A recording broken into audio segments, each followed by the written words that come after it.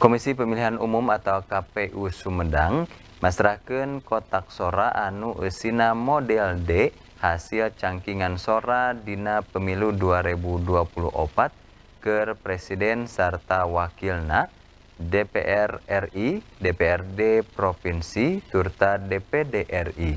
Daftar hadir jeng kejadian khusus dina prakpakan pemilu di Kabupaten Sumedang KKPU Provinsi Jawa Barat poe Salasa sore 5 Maret 2024.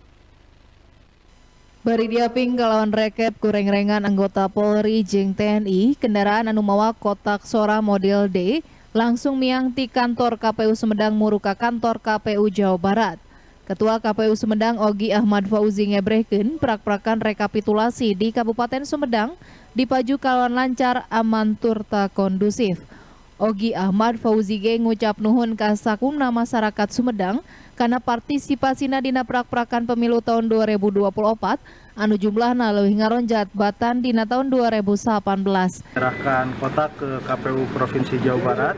Adapun isi kotak adalah model D untuk presiden pemilihan presiden dan wakil presiden, DPR RI, DPRD provinsi dan DPD RI, kemudian juga ada daftar hadir, undangan, begitu ya, kemudian uh, kejadian khusus isi dari kotak tersebut.